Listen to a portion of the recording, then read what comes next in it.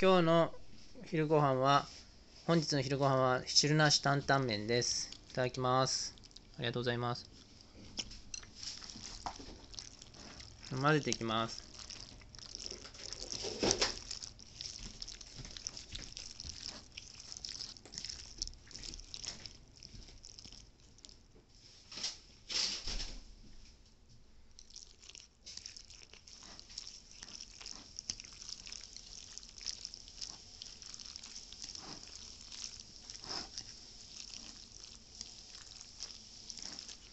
これでいいかな。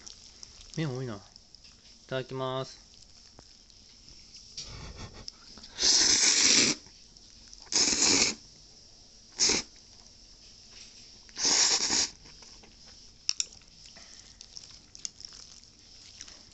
うまっ。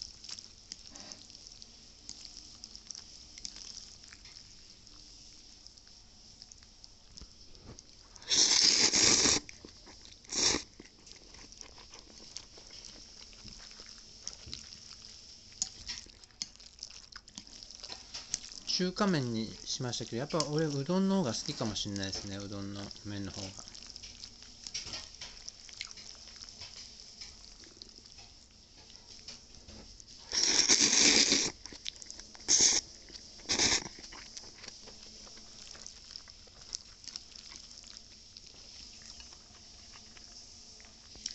ということでこれからちょっと味変しながら食べていきます。